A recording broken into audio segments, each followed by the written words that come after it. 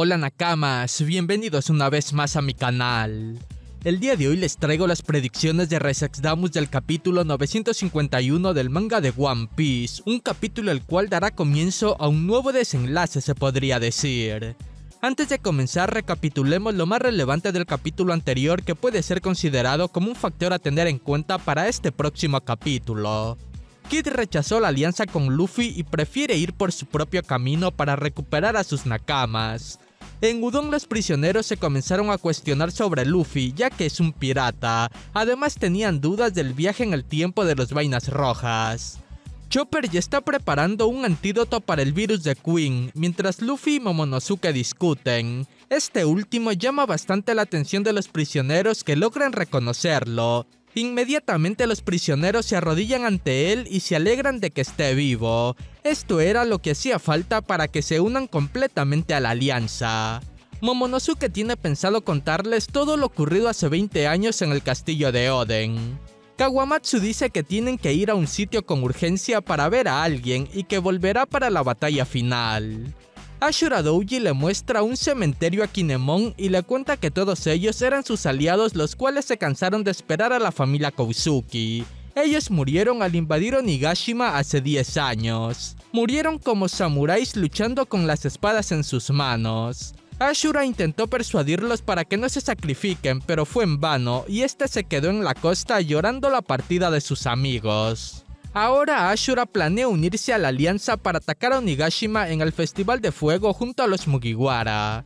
Zoro y Hiyori pudieron escapar sin dificultades de Rasetsu, y de paso Zoro derrotó a algunos ninjas del Oniwabanshu.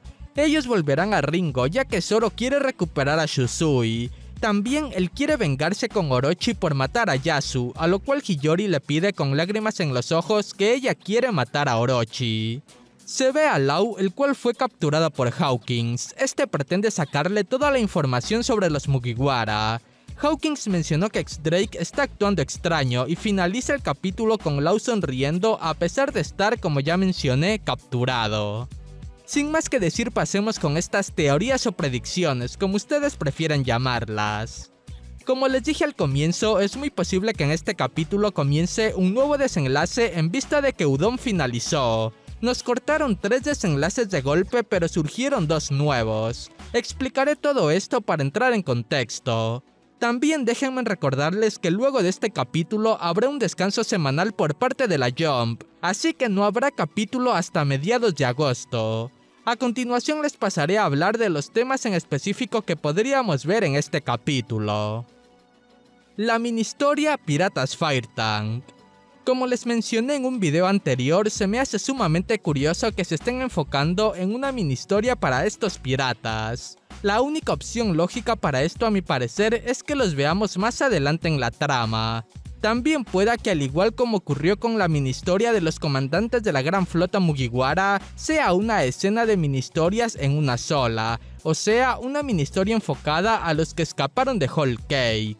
Así podríamos ver no solo a los piratas Fire Tank, sino también al Germa, los piratas Sol e incluso si tenemos suerte a Shizar. De por sí es muy pronto para cambiar de personajes, por lo que en este capítulo, en caso de que Oda nos regale otra página de mini historia, podríamos ver nuevamente a los piratas Fire Tank. Quizás a Belle respondiendo la petición de Chifón de querer ir a ver a Lola. Hay que darle tiempo a Oda para ver si esta mini historia es exclusiva para los piratas Fire Tank o terminará siendo una mini historia enfocada en el escape de todos los que participaron en Whole Cake la captura de Lau. Como pudieron notar, comenzará un nuevo desenlace en la serie, esta vez enfocado en la captura de Lau. Todo esto se me hace muy curioso ya que descartaron por completo el mostrarnos un desenlace enfocado en la rebelión en Rasetsu. Ni siquiera nos mostraron cómo escaparon el resto de Mugiwaras, simplemente ya vimos a Zoro en otro sitio y de los demás ni rastro. Esto sin duda es muy curioso, ya que recordemos que Sanji se estaba enfrentando a X-Drake y Zoro a Kyoshiro. Además, el resto de ninjas de los Niwabanshu estaban decididos a capturar por lo menos a un Mugiwara para sacarle toda la información. La primera interrogante es ¿cómo escaparon todos? No me sorprendería que el resto de Mugiwaras aún estén siendo perseguidos por algún ninja de Oniwabanshu al igual como le estaban persiguiendo a Zoro. Y quizás si Oda quiere meterle drama que más adelante nos muestren a ese Mugiwara capturado. Aunque a este punto no creo que haga falta que esto se dé, ya que ya tienen a alguien capturado, y es Lau.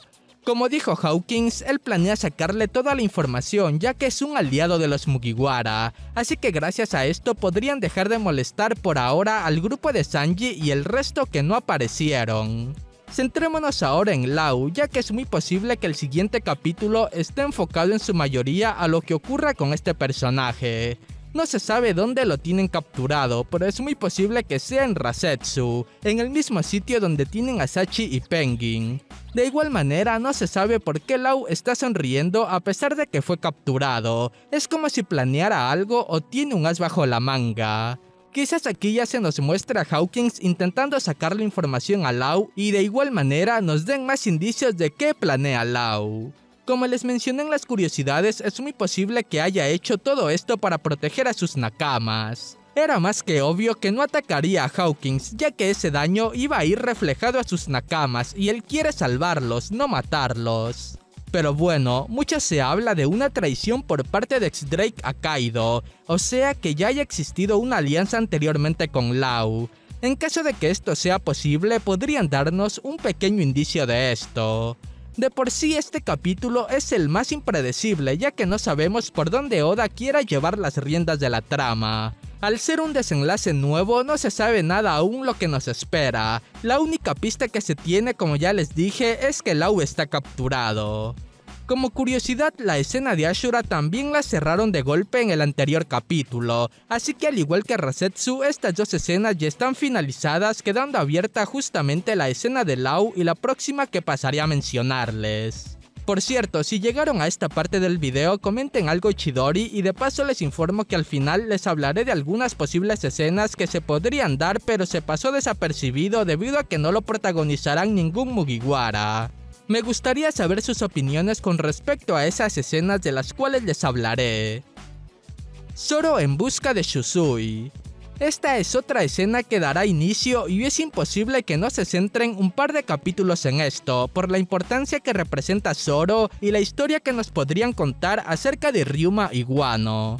Aunque si bien como ya dije es una escena nueva, hay muy pocas posibilidades que en este capítulo se enfoquen de lleno en esto. Es más, puede que ni siquiera nos muestren a Zoro en este capítulo y se enfoquen exclusivamente en la captura de Lau, o en mostrarnos el paradero del resto de Mugiwaras. Pero bueno, mientras haya posibilidades no se puede descartar esta escena. En caso de que nos muestren algo breve, se podría ver el viaje de Zoro y Hiyori, pero para hacerlo más emocionante, que ella nos cuente más acerca de los misterios de Guano. Quizás ella al ser de una familia importante de este reino nos cuenten un poco más sobre las espadas legendarias de allí, e incluso de Ryuma. Siento que sería muy interesante esto antes de que comiencen los enfrentamientos en contra de Gyukimaru por la Shusui.